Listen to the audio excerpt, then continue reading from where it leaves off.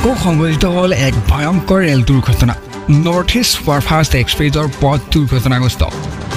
ছটাকৈ ডবাৰ লাইনচ্যুত হৈ বাগৰি পৰে ৰেলখন। বিহাৰৰ ৰঘুনাথপুৰত এই ভয়ংকৰ ৰেল দুৰ্ঘটনাটো সংঘটিত হৈছে। বিহাৰত ভয়ংকৰ ৰেল দুৰ্ঘটনা। লাইনচ্যুত হৈছে দিল্লীৰ কামাখ্যা অভিমুখী নৰ্থ ইষ্ট এক্সপ্ৰেছৰ পাঁচটাকৈ ডবা ৰেলখনত আবদ্ধ হৈ আছে বহুতো অসমৰ যাত্ৰী। ইতিমধ্যে ৰেল আৰক্ষীয়ে জানিবলৈ দিয়া অনুসৰি ৰেলখন নতুন দিল্লীৰ পৰা তিনিচুকীয়ালৈ আহি আছিল। ছটাকৈ ডবাৰ লাইনচ্যুত হৈ বাগৰি পৰিছে ৰেলখন।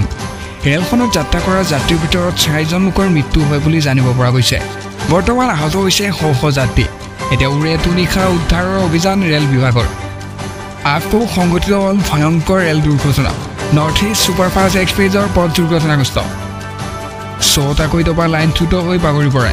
বিহাৰৰ ৰঘুনাথপুৰত এই ভয়ংকৰ ৰেল দুৰ্ঘটনাটো সংঘটিত হৈছিল। এই মুহূৰ্তত আহি পৰিছে এক ব্ৰেক ব্ৰেকিং নিউজ বিহাৰত ভয়ংকৰ ৰেল দুৰ্ঘটনা। লাইনচ্যুত হৈছে দিল্লীৰ কামাখ্যা অভিমুখী নৰ্থ ইষ্ট এক্সপ্ৰেছৰ ছটাকৈ ডবা